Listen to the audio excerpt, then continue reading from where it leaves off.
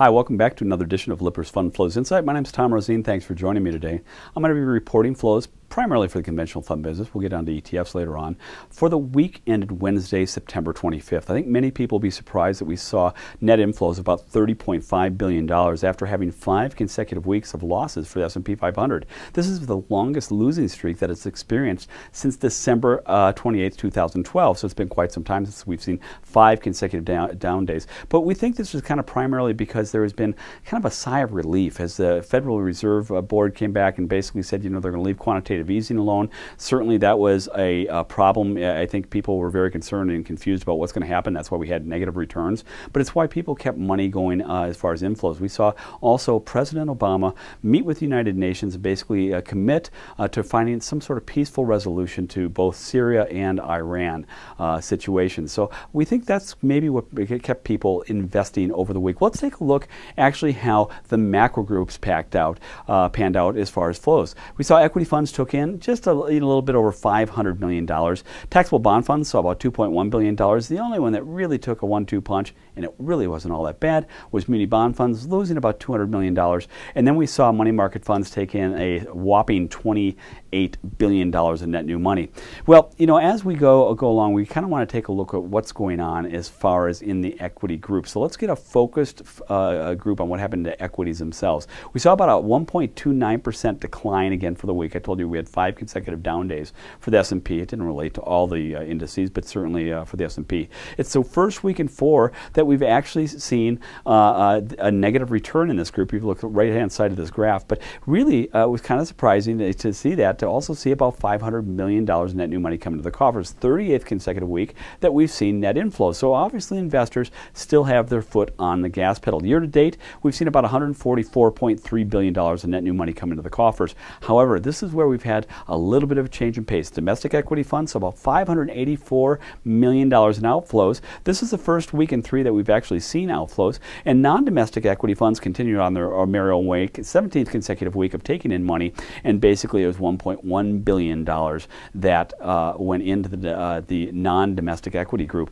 Now this is uh, kind of ironic, but because what we saw was large cap funds, kind of conservative bet, taking about $200 million, while real estate funds actually saw about $400 million in outflows.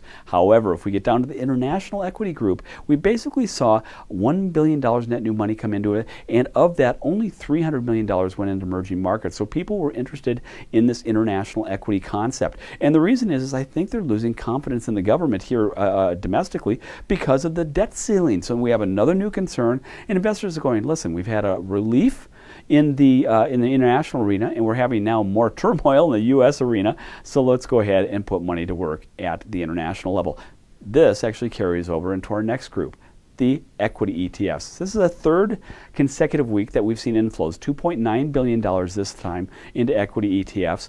Uh, the iShares MSCI Emerging Market, again, a big international group, took in $1.6 billion. But basically, what we take a look is we saw some other. I think we saw the Russell in there. You're going to see the Russell 2K is is uh, you know up in the top, and also the Japanese funds is up there as well. But if we look at the very bottom, this is where we kind of get it got it kind of get interesting. We see SPY.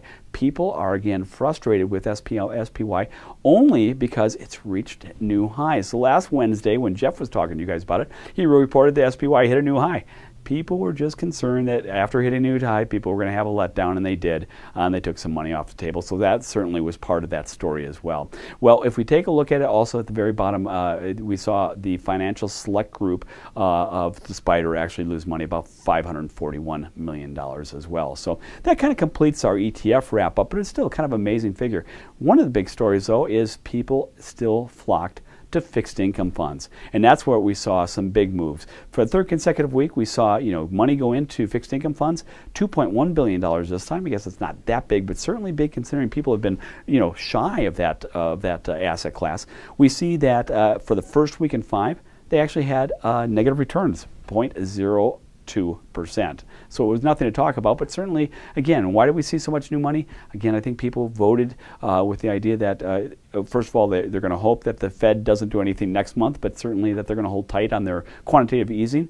Uh, and, uh, you know, hopefully there'll be a quick resolution uh, to the debt ceiling. And if that's true, high yield was the big intake of money. $2.3 billion entered that group. That was kind of an amazing feat. Loan participation funds in anticipation of people actually seeing a rise in interest rates uh, saw good good money come in. Nothing like they've been seeing, but about $600 million in net new money coming to their groups. 67th week, by the way, of flows into this group.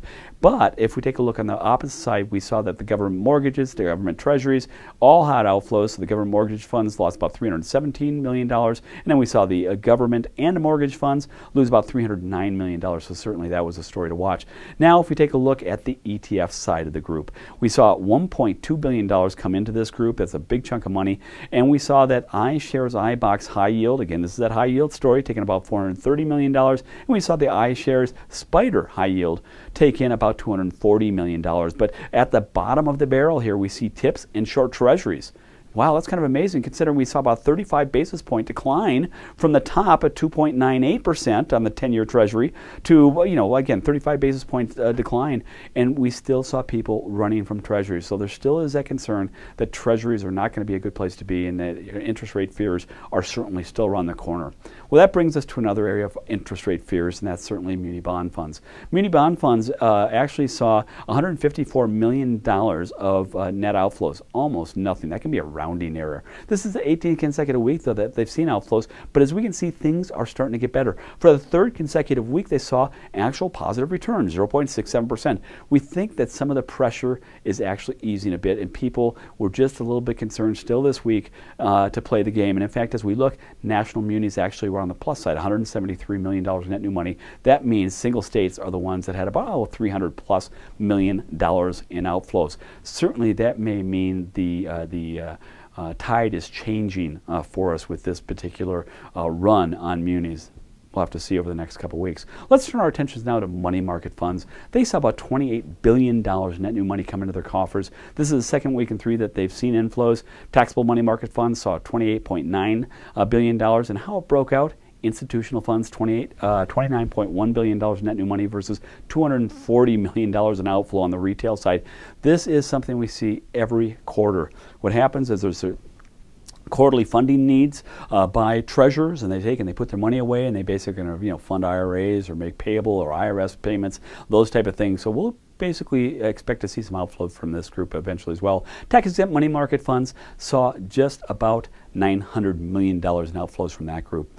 Well, that brings us to the end of this presentation, and basically we have our eyes over a couple things coming up. Obviously, we know that earnings season is just around the corner. That's going to be a very important piece for uh, flows coming into the uh, fall uh, semester as far as uh, far as uh, flows are concerned. And the biggest, I think, the biggest bugaboo are going to be pacing, pacing uh, or having demands on flows is basically the debt ceiling. It's to see what type of gridlock Washington plans on putting us. Will there be some sort of a government stoppage? Uh, if if not, uh, you know, will we have some sort of debt ceiling agreement? And that's certainly going to weigh on how investors uh, react here going in the future. Well, uh, if you if you want to do a deeper dive and uh, check into the areas that I have not covered, you can go to lipperusfundflows.com and find maybe some of the areas that you have interest in. If not, you can meet, join us next week where one of the analysts will talk to you about flows. My name is Tom Roseen. I thank you for coming and I wish you the best in your wealth planning and creation.